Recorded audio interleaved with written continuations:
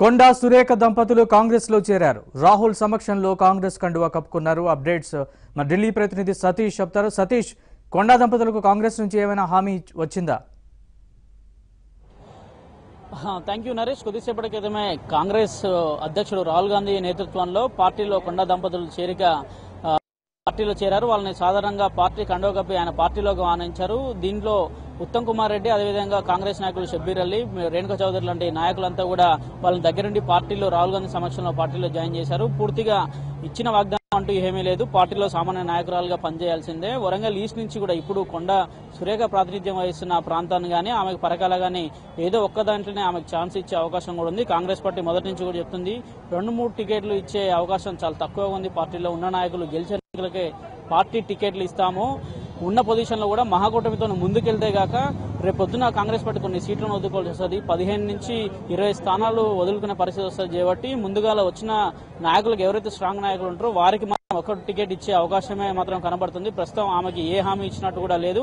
కేవలం ఆమె ప్రాతినిధ్యం వహిస్తున్న వరంగల్ ఈస్ట్ కానీ పరకాల నుంచి కానీ ఏ ఒక్కరి నుంచి అయినా కానీ ఒక్క ప్లేస్ నుంచి ఆమె పోటీ చేయాల్సింది కూడా అధిష్టానం ఆమెకు చెప్పినట్టు మనకు అందుతున్న సమాచారం. కొండ దంపతులు ఆల్రెడీ ఈ కొండ దంపతులకు పార్టీలో సుస్థిర స్థానం ఏర్పడుతుంది. భవిష్యత్తులో పార్టీ రాష్ట్రంలో గాక ఉన్నత స్థాయికి వస్తే మాత్రం తిరిగి వాళ్ళకి న్యాయం చేస్తుంది పార్టీ అని కూడా రాహుల్ గాంధీ కూడా వాళ్ళకు చెప్పినట్టు సమాచారం అందుతుంది నరేష్. గోపాల్ రెడ్డి వ్యవహారం సద్దుమడిగిందా అలాగే పొత్తులకి సంబంధించి పొత్తులు ఎలా కొలిక్కొచ్చాయా? పొత్తులకు సంబంధించి ఎట్లాంటి అప్డేట్స్ ఉన్నాయి?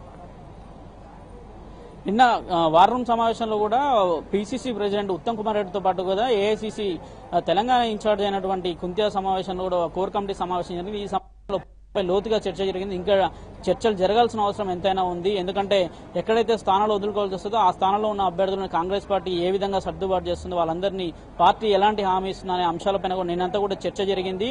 ఇంకా చర్చలు జరగాల్సి ఉంది. ఎందుకంటే పొత్తు ఒకసారి డెసిషన్ తీసుకుంటే అటు పార్టీకి సంబంధించిన నేతలకు కానీ పార్టీలో ఉన్న కొత్త నాయకులకు కానీ ఎవరికి కూడా ఎలాంటి ఇబ్బందులు రాకూడదు.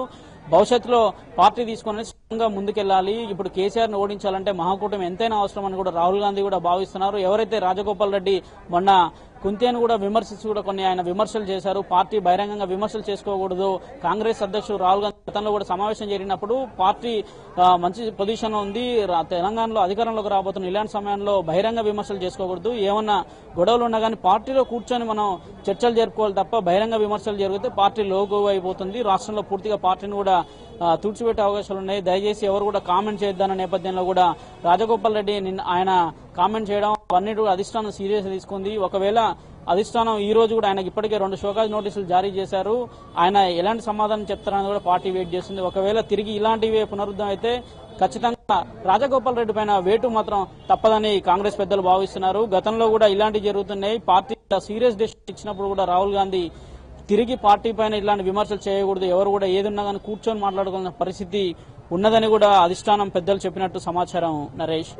Thank you Satish